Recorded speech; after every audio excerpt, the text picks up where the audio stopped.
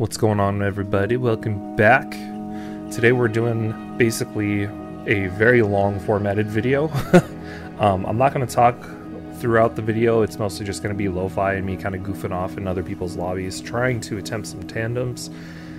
And I really realize how just how freaking bad I am and how like how much work I actually need to do because whether it's my tuning or whether it's just my own skill, there, there's just so much more practice that I need to do and so much more work that needs to be done.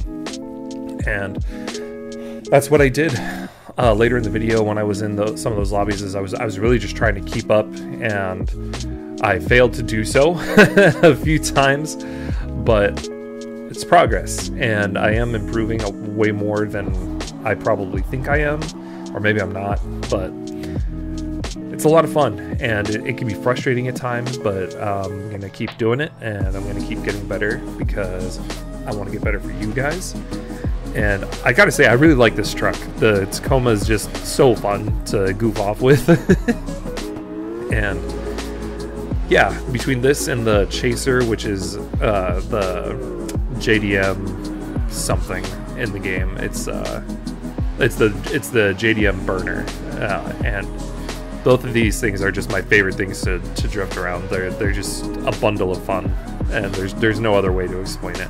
But I'm gonna shut up now and enjoy the lo-fi guys. Like, subscribe, comment, share, hit the notification bell, and I will see you in the next video.